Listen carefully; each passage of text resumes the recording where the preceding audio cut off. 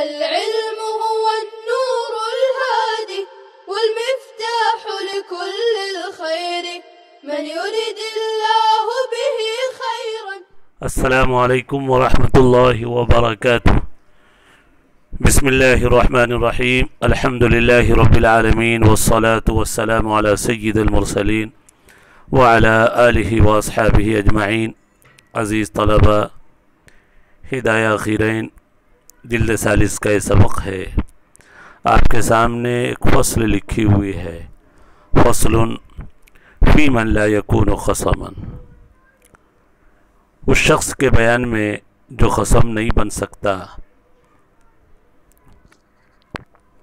मुद्दई के दावे के बाद मुद्दा आले खसम नहीं बन सकता। बाद सूरतें ऐसे निकलती हैं। मुद्दई ने दावा तो कर दिया सामने वाले पर। लेकिन मुद्दा आले कुछ ऐसी बात कर रहा है, जिसकी बुनियाद पर अब उसको खसम फरीक़ मुखालिफ करार नहीं दिया जाएगा और मुद्दई से उस दावे पर बैने का भी मुतालबा नहीं होगा। चंद सूरतें ऐसी हैं। मसला आप जब मसला समझेंगे तो उस वक्त जो है ये बात अच्छी तरह वाज हो जाएगी। इदा कौल मुद्दा अलई हादश शई अवदानी ही फुलान अलगाइब सूरत मसला ये है कि एक मुद्दई दावा कर रहा है। मुद्दई आप समझ लें कि जैद है। जैद ने बकर पर यह दावा किया कि यह ग़ुलाम मेरा है जो तेरे पास है। जैद मुद्दाई है, बकर मुद्दा अलई है। मुद्दा अलई के कब्ज़े में वो ग़ुलाम मौजूद है। मुद्दा अलई ने जब सुना कि इस ग़ुलाम पर दावा कर दिया है जैद ने तो कहता है मुद्दा अलई भाई, ये ग़ुलाम न मेरा है, न तुम्हारा। फ़ला शख्स ने मेरे पास अमानत रखी, फ़ला गायब है सफ़र में। या मेरे पास उसने रहन और गिरवी के तौर पर रखा है, या मैंने उससे गसब किया है। और इस बात पर उसने बैना भी पेश कर दिया उस मुद्दा आलह ने, बकर ने, कि ये चीज़ मेरी भी नहीं, फ़ला की अमानत है, गिरवी है, या उससे मैंने गसब किया है। इस पर उसने बैना भी पेश कर दिया इस मुद्दा आलह ने, जो बकर है। अब खसूमत ख़त्म हो जाएगी। मुद्दाई का जो भी झगड़ा होगा, फला जो गायब है, मुसाफिर है, उससे उसका निज़ा चलेगा मुकदमाबाजी उससे होगी। लेकिन ये मुद्दा है जिसने बैना से ये साबित कर दिया कि फ़ला की गनीमत है, गिरवी है, या उससे मैंने गसब किया है, ये कसम होने से खारिज हो जाएगा मुद्दा आलह देखिए मसला इदा कौल मुद्दा आलह हद शेव यहाँ पर इमाम कदूरी के बारत है पूरी बात ज़िक्र नहीं की गई, मुद्दई की बात नहीं नकल की गई जैद, जो मुद्दई उसने पहले दावा किया। और इबारत से ज़ाहिर है कि मुद्दा आले आदमी जब ही होगा, जबकि कोई मुद्दई हो। हाद शेख फला ने मुझे, फला गायब ने वदियत की, या मेरे पास गिरवी रखा? और गसब तो मैंने, या उससे मैंने गसब किया? और इस पर उसने बैना भी पेश कर दिया, फला खसूमत बैना हुआ बैन मुद्दई। उसके और उसके दरमियान मुद्दई के दरमियान खसूमत नहीं होगी। ये मुद्दा आलय अहले खसूमत से खारिज हो जाएगा।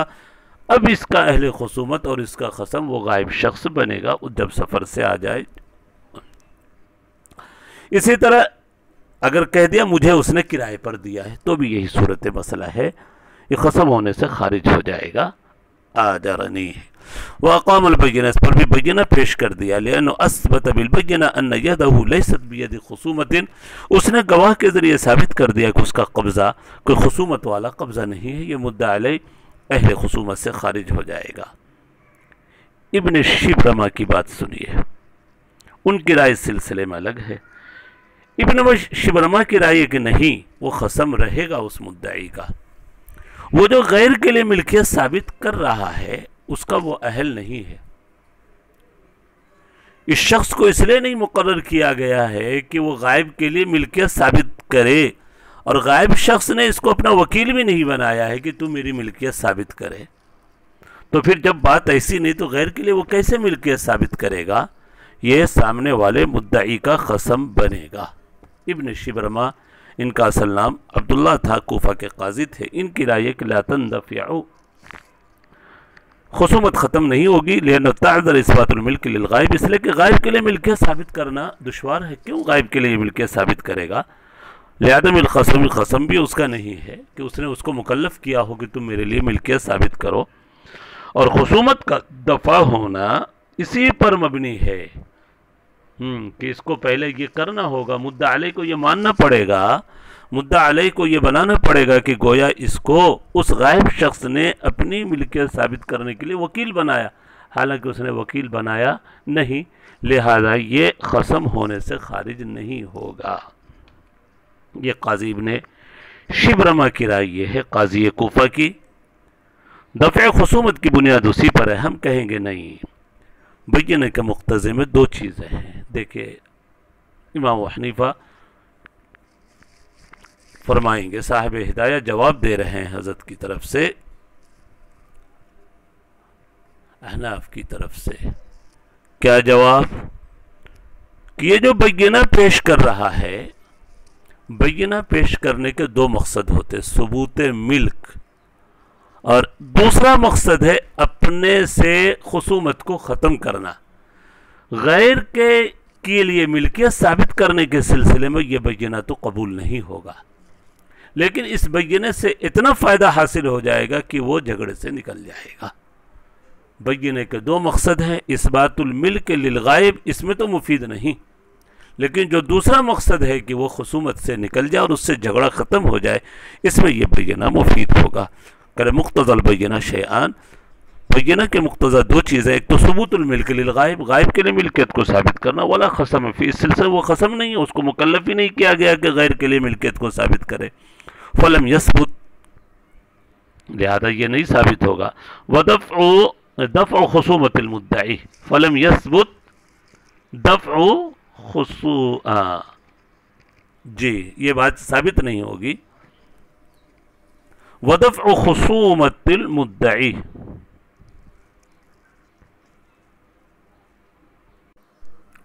जी। एक मकसद तो यह है, गैर के लिए मिल्कियत को साबित करना इस बैना का मकसद।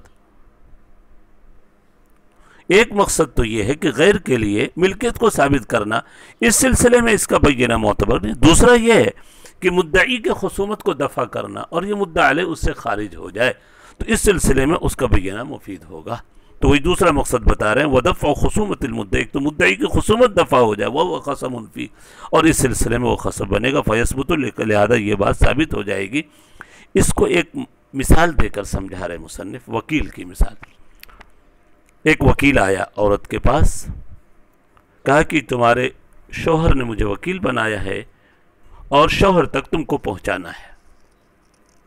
शोहर का कोई दोस्त है या औरत ही का कोई जी रहम महरम रिश्तेदार है, जिसके साथ उसका जाना जायज़ हो सके बहरहाल।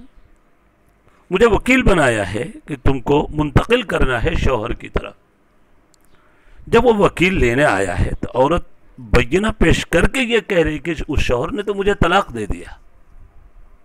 तलाक हो गई मेरी उसके साथ, तलाक दे दी है उसने।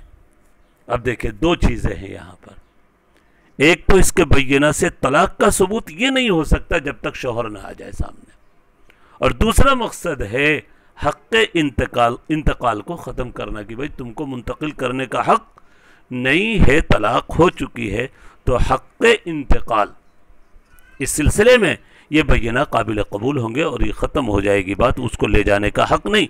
लेकिन जहाँ तक तलाक पर बैना है इसके लिए तो शोहर की मौजूदगी ज़रूरी होगी, वहाँ कसम बनकर आएगा। कल वकील बिन अकलमर वकील औरत के मुंतकिल करने का वह कौमत अलबैना अल तलाक, और औरत ने तलाक पर बैना भी कायम कर दिया। कमा बैना मिन कबल, जैसा कि ये, इससे पहले ये बात हम वाज कर चुके हैं। तो यहाँ पर भी दो चीज़ें हैं।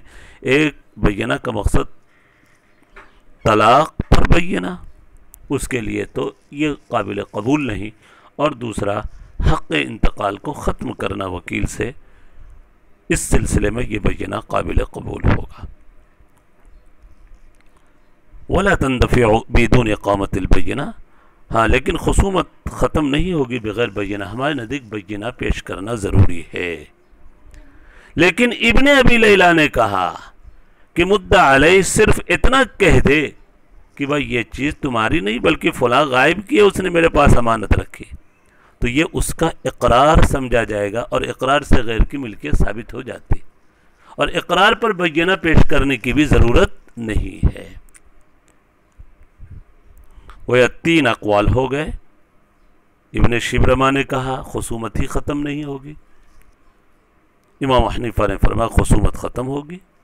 लेकिन बैना पेश करना, इबन अबी लैला कहते हैं कि ये इकरार है और इकरार के लिए बैना की ज़रूरत माज उसके बोलने ही से खसूमत सामने वाले की मुद्दई की ख़त्म हो जाएगी।